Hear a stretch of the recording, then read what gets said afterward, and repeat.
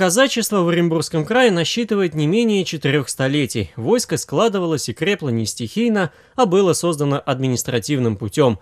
Оно с самого начала не знало вечевой вольности, казачьего самоуправления. И главной отличительной чертой Оренбургского войска была его многонациональность. В составе войска было до 10% мусульманского населения. Были даже поляки, были евреи, были немцы. И как бы назвать их этносом, да, ну, не получается. Тем сильно было Оренбургское казачье войско, потому что своей многонациональностью. И сегодня, проводя вот э, большие как бы мероприятия, вот тот же круг, да, у нас на круге присутствует два священника. В уставе записано, у нас в рекомендациях, если священника нет на круге, круг считается недействительным. Поэтому всегда приглашаем два священника, то есть православный и, будем говорить, мусульманский. Они зачитывают молитвы, благословляют работу круга, ну и, естественно, как бы этим самым закрепляя вот э, веру. Казак говорит, без веры не казак, да, Возрождение казачества началось с 90-х годов прошлого столетия. С этого времени можно вести отсчет современного оренбургского казачества. Наше оренбургское казачье войско, оно расположено на пяти субъектов Российской Федерации. Это значит Оренбургская область, Челябинская область, Курганская область, Свердловская область и часть Башкирии. И когда несколько э, лет тому назад – подписывался указ президента, он как раз и зафиксировал в уставе войсковом вот эти территории исторические, на которых может быть расположено Оренбургское казачье войско. Ну и наш отдел, он всегда был первый отдел Оренбургского казачьего войска, указом нашего губернатора Александровича Берга, тоже расположение его зафиксировано в территориальных границах Оренбургской области. Это вот, э, ну, будем говорить, такая канва Оренбургского э, казачьего войска. В том числе э, как бы его первого отдела, э, то есть организация, которая расположена на территории Оренбургского войска, отделы, вернее, их у нас 44 первичных казачьих организаций. Они расположены, ну, тоже на территории их области. И вот эти вот первичные казачьи общества, хуторские или станичные, они и составляют основу первого отдела Оренбургского казачьего войска. То есть они учредили отдел. Одним из таких становых хребтов первого отдела можно смело называть Новоорское станичное казачье общество.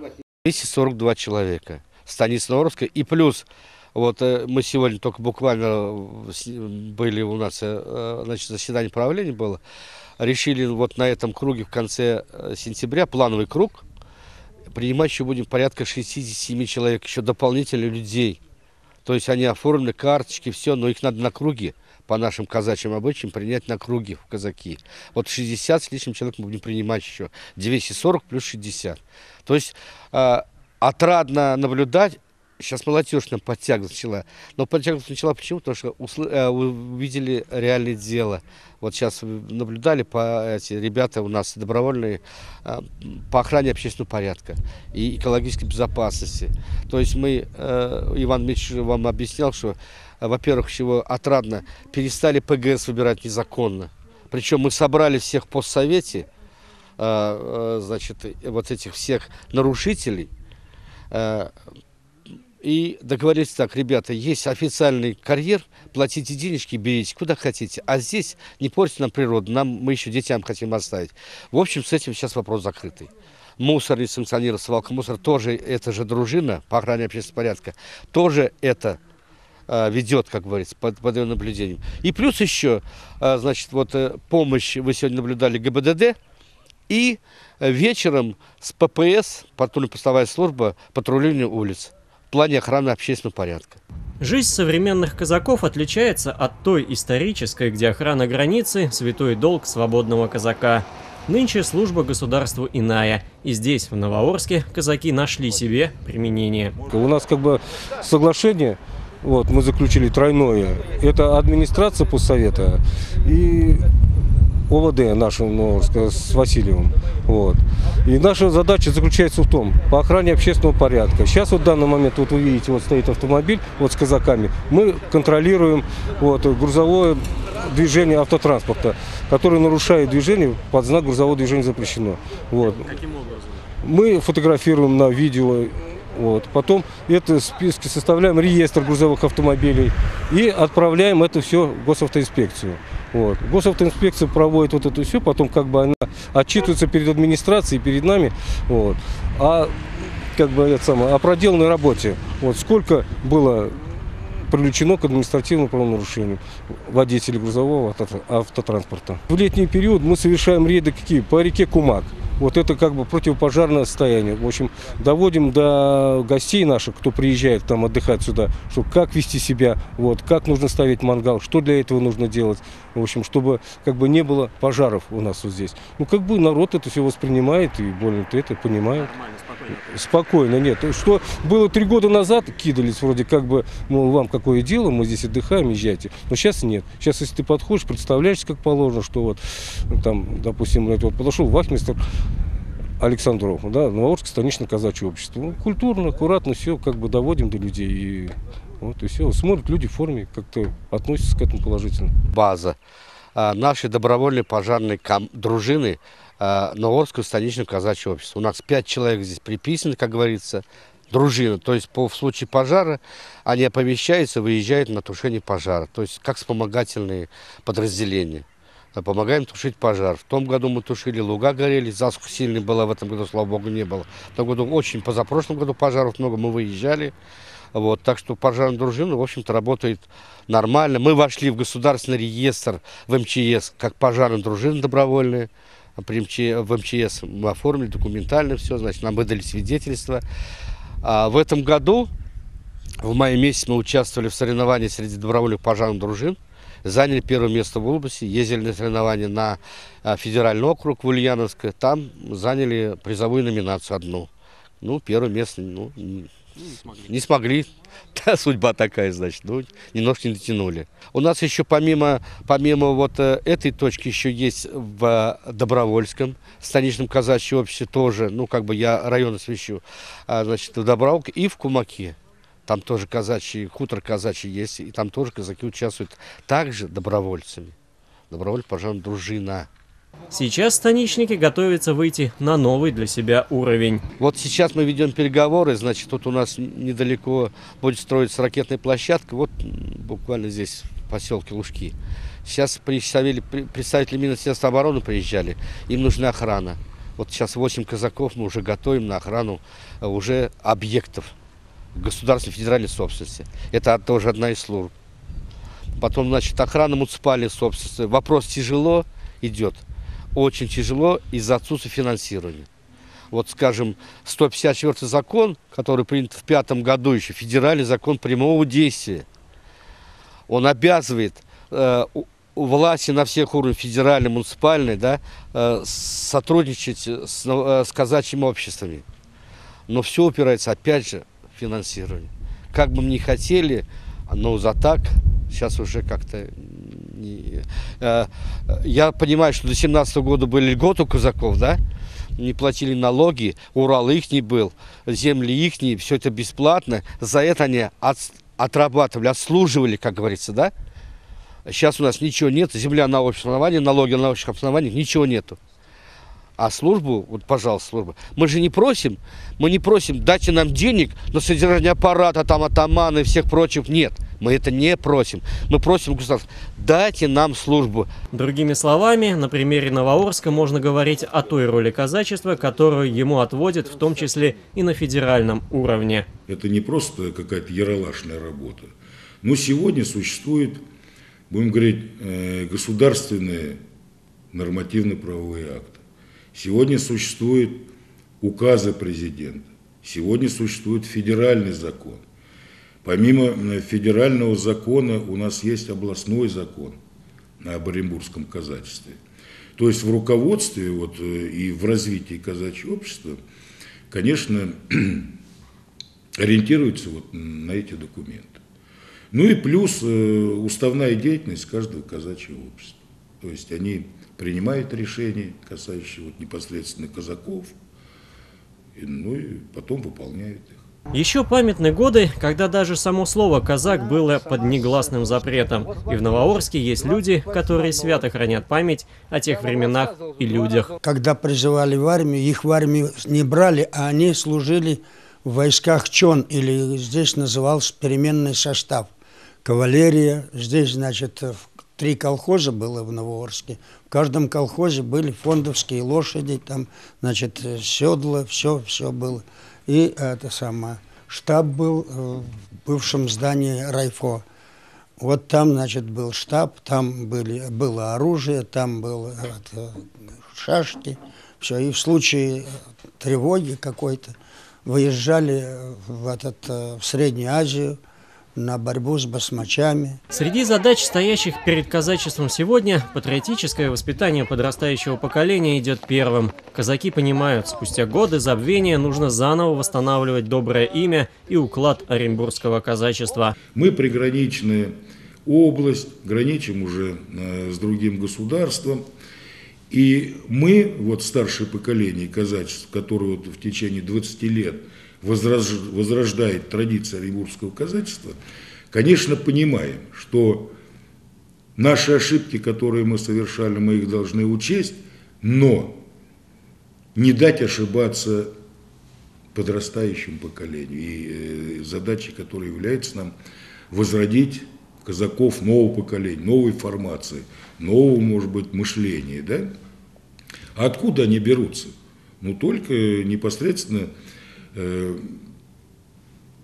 проходя вот через э, становление Оренбургского казачества.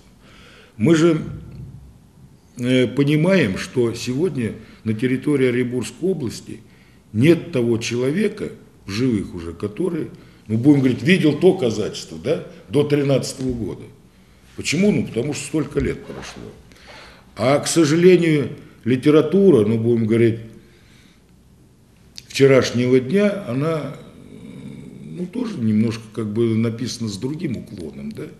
Мы же вот э, видим фильмы старые, да, если чапаевцы, то все молодые, на коне, вперед, со знаменем, а казачьего генерала показывают, тачанки, дряхленькие и все прочее. Это мы сейчас понимаем, ну, что это как бы не совсем действительность так было. И вот э, главная задача отдела, я не перестаю – как бы ставить такие, уставать ставить такие задачи, воспитать поколение. И у нас уже получается. Сегодня по области много казачьих классов, и молодежь, она вот впитывает, э, как губка, как бы вот идеи патриотизма, идеи защиты своего государства, честности. И у нас заповеди казачьи, они как раз вот на это и вставляют. И положительная динамика такая вот идет, и все больше и больше молодежи вовлекает. Яркий пример подобного воспитания и внимания – клуб «Русский богатырь», который уже четвертый год успешно работает в Новоорской станице. Сначала мы попробовали, сделали кружок туризма и краеведения, э, начали изучать э, такие спортивно-прикладные э, дисциплины, как туризм, краеведение и общефизическая подготовка. Нагрузочка такая физическая давала, чтобы ребенок телесно тоже физически развивался.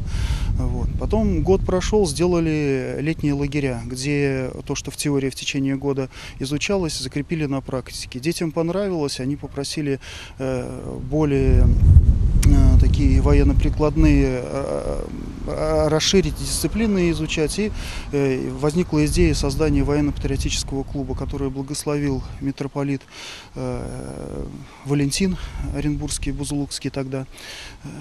И уже кружок туризма и краеведения э, стал в такой в статус военно-патриотического клуба.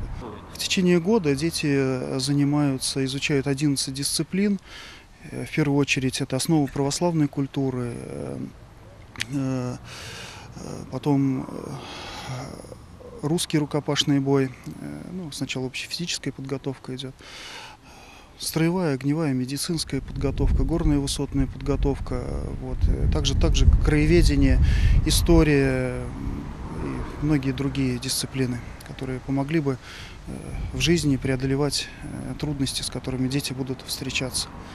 Отчасти, когда не было специалистов, преподавал я сейчас, ну и чтобы разгрузить, все-таки у священника назначение другое совсем. Сейчас подбираем специалистов, которые преподают э, э, дисциплины как рукопашный бой отдельно. Для военно-прикладных лагеря, которые делаем продолжительные уже сейчас летние, привлекаем сотрудников ОМОНа, милиции, наркоконтроля, которые уже занимаются ну, профильно с детьми по своим направлениям таким.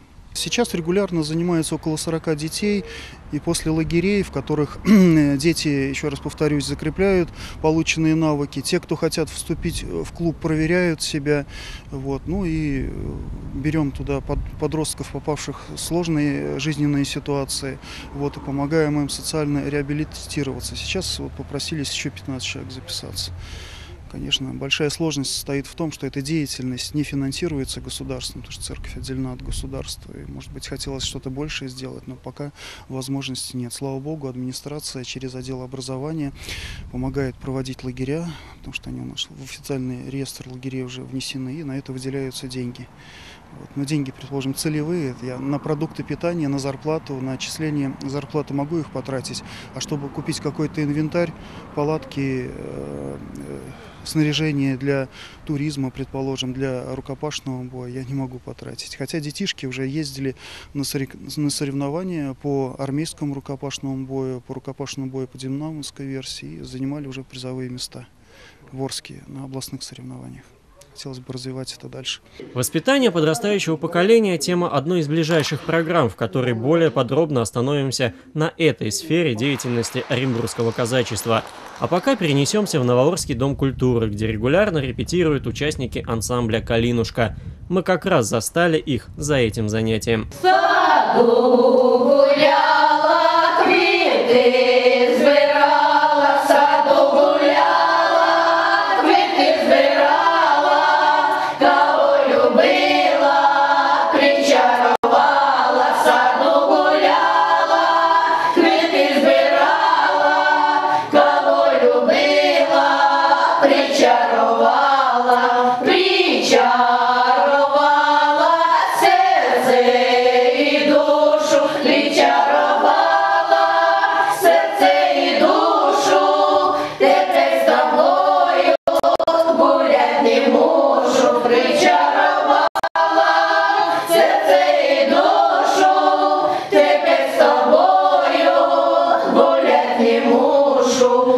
и получается, что здесь, в Новоорске, умеют не только хорошо работать и тем самым приносить немалую пользу Отечеству, но и отдыхать. И, как водится у казаков, с песней хорошей и душевной. Не для меня ведут коня, шелковой играет.